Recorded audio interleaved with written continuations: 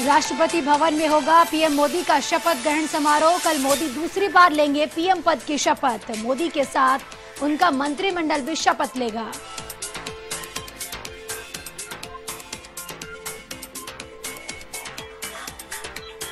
Robert Vadra की फिर बड़ी मुश्किलें। ईडी ने पूछताछ के लिए बुलाया। लंदन की प्रॉपर्टी के मामले में कसा शिकंजा?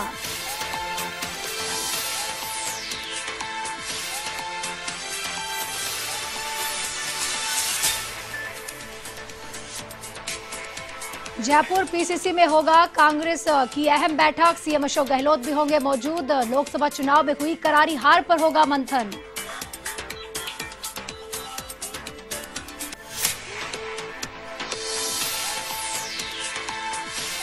रामगढ़ में महिला ने दो साल के बच्चे के साथ छत से लगाई छलांग। माँ बेटे गंभीर रूप से घायल। घरेलू कलह के चलते उठाया कदम।